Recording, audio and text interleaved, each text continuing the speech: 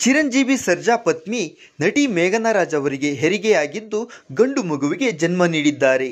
ಇದರಿಂದಾಗಿ ಸರ್ಜಾ ಕುಟುಂಬದಲ್ಲಿ ಸಂಭ್ರಮ ಮನೆ ಮಾಡಿದೆ.